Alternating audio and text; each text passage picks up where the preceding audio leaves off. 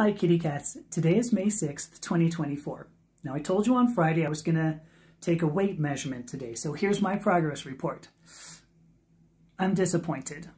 I thought I was going to show some progress, and I got the exact same number, so that's a bummer. That being said, I only take one weight measurement per week, and the book recommends more like every two or three days, and then doing a two-week rolling average. So I will change my process to do that. I also intend to start taking circumference measurements, so like circumference of my waist, circumference of my big fat butt, and maybe I will see progress more readily.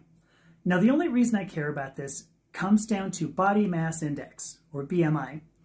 BMI, BMI has units of kilograms per square meter because it's your weight divided by the square of your height. Now, this may seem like a somewhat of a strange computation, but it was intended to give a very rapid idea of your thinness or thickness, as it's put.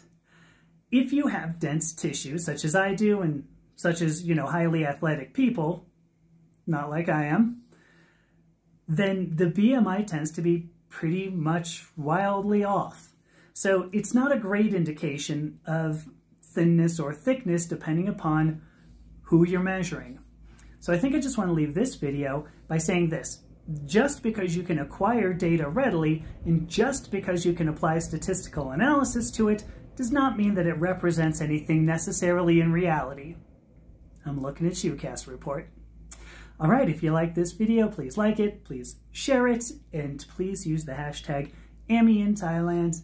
I'll talk to you tomorrow. Bye.